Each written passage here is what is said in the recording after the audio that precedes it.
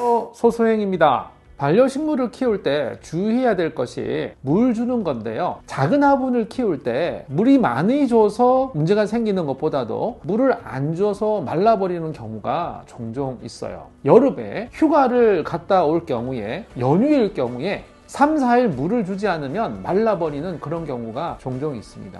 그래서 자동으로 물 주는 기계를 찾아봤는데요. 만원 초반대에 자동으로 물 주는 기기가 있어서 소개를 해드리려고 합니다. 화분에 보면 파랗게 꼽혀 있는 게 있는데요. 여기에서 물이 자동으로 나오게 됩니다. 아이들 주먹만한 이 기계가 물을 주는 기계인데요. 여기에 있는 물을 이쪽으로 물을 골고루 배분해 주는 건데요.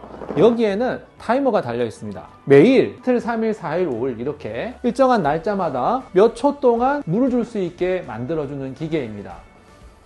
얘가 물을 이쪽으로 뿌려주는데요. 지금 총 8군데로 물이 나오고 있습니다. 큰 화분에는 제가 두 개를 꼽아놨고요. 작은 화분에는 하나씩 꼽아 놓았습니다.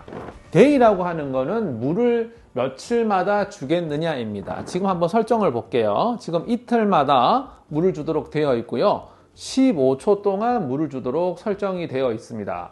내가 이걸 세팅하는 그 시간마다 물이 반복이 돼서 나오게 됩니다. 내가 만약에 눌러서 지금 6일, 7일, 8일, 9일, 오늘만 매일 이렇게 해놓으면 지금 조작이 되죠. 15초 동안 물이 이제 주어지게 되고요.